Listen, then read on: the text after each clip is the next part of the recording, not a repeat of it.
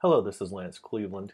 I'm going to go over a feature that has been introduced in Premier Add-on 4.7.1 that is coming out in the next couple of weeks.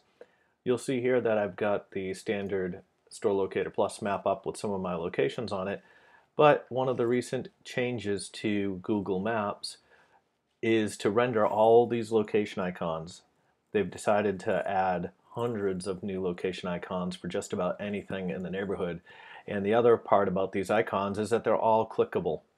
That means that you'll see all sorts of data that can confuse your customers as far as where your locations are. One of the new features that is in the Experience add-on, let me switch this to responsive mode so we can see what we're looking at here. In the Premier add-on pack, under the Experience Map tab, there's a new setting under the Appearance section called clickable icons. You can disable that.